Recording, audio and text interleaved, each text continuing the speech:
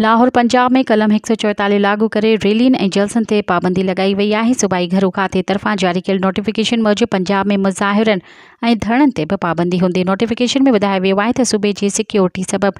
के कर कलम एक सौ चोएतालीह लागू किया वो मज़ीद ख़बरनि